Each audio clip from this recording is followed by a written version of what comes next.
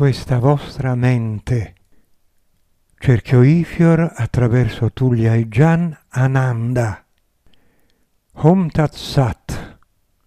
Nota. Hari Om Tat Sat è un mantra tratto dai Veda che significa la realtà manifesta e non manifesta sono l'infinita vita che non ha mai fine. Pace a voi, figli e fratelli, che questa sera siete qui riuniti spinti da motivazioni diverse, spinti come sempre quindi dagli impulsi della vostra mente. Osservatela questa vostra mente, come spesso reagisce in modo illogico anche ai più piccoli stimoli. Basta, ad esempio, sentire a volte da parte vostra parlare di religione o di religiosità, per ottenere una chiusura nei vostri pensieri, per ottenere già una reazione di allontanamento e di disinteresse. Eppure, figli e fratelli, questo accade più che altro perché la vostra mente si ferma soltanto ai concetti e alle parole. Religione e religiosità non sono la stessa identica cosa ma sono anzi due cose molto, ma molto diverse. Religione, ad esempio, è quella che può essere considerata creata dall'uomo in una corporazione, al fine di portare avanti degli interessi, il più delle volte egoistici, un insegnamento che viene messo come scudo per parare qualche cosa di corporativo. Religiosità invece è sempre qualche cosa che riguarda l'individuo, che non può essere etichettata con un termine ben preciso, ma è qualche cosa che nasce dall'individuo stesso, non appigliandosi a qualche dottrina particolare, ma sentendo il senso della vita, percependo che tutto non è stato creato a caso, sentendosi unito alle altre persone, ascoltando il canto che sorge dal proprio interno e che si fonde col canto di tutti i suoi simili.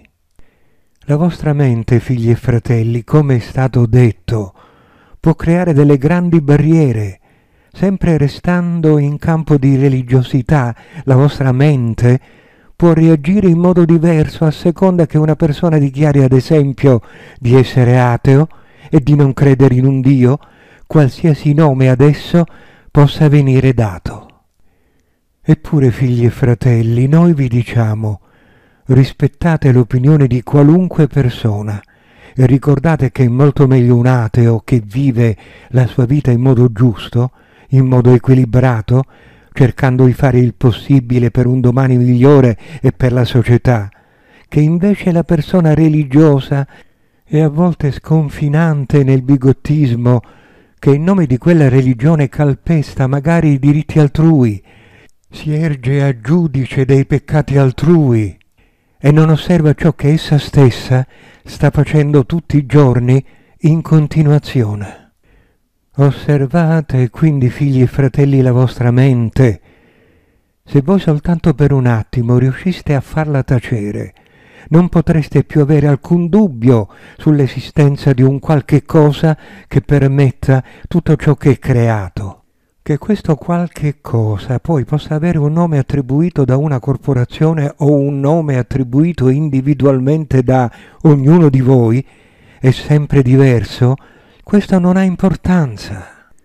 Giunge sempre, figli e fratelli, il momento in cui viene percepita la presenza del tutto, dell'assoluto, che viene percepita la fratellanza universale, la necessità di stringere la mano di un fratello di esistenza.